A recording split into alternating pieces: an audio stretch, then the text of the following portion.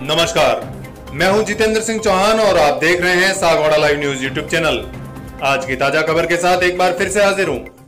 डूंगरपुर ज़िले के सागवाड़ा उपखंड अंतर्गत सिलोता गाँव की 60 वर्षीय महिला को सांप काटने से हुई मौत। प्राप्त जानकारी के अनुसार कमला पत्नी रावजी कटारा निवासी सेलोता अपने खेत में सुबह गेहूँ काटने के लिए गई थी, जहाँ पर सांप ने पैर में डंक मार लिया। खबर मिलने पर परिजनों ने कमला को राजकीय चिकित्सालय सागवाड़ा पहुँचाया, जहाँ पर उपचार के दौरान कमला की मौत हो गई। Sagwara live news. जी हाँ लेटेस्ट खबर पाने के लिए चैनल को सब्सक्राइब कीजिए, वीडियो को लाइक कीजिए और शेयर कीजिए। धन्यवाद।